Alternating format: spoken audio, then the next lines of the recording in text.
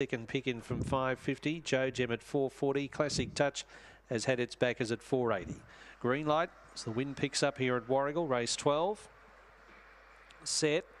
Away they go, and stepping smartly off the inside, Classic Touch leads out tonight. Well back early, next teardrop, and also pretty much first turn. A charge though from Aston Miguel around them, takes up the lead, shoots away too. Got about four in front. Classic Touch shuffled right back, running right off the track was pretty much on the corner, coming through Victory Indy second pick, and next teardrop for the minors, but it's all Aston Miguel, too good. Aston Miguel's won easily. Victory Indy's run second, third would be second pick the inside, just in front of the others, headed in by. Classic Touch next Teardrop. Joe Gemback with those, as too was Gusta Bale pretty much.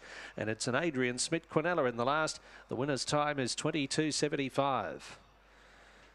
Too good for them. Aston Miguel, box eight. Well, it's uh, six wins have all come from wider draws. Ran third here last week in uh, Tier 3 company at the Thursday fixture from box eight over the 400. And has led them a merry dance in the last here at about... Uh, Oh, around uh, $15.90 or thereabouts. It'll pay well anyway. 834 and fourth to come. One is fourth. 8341 numbers in the last. 22.76 the run. 852 the sectional to the winner.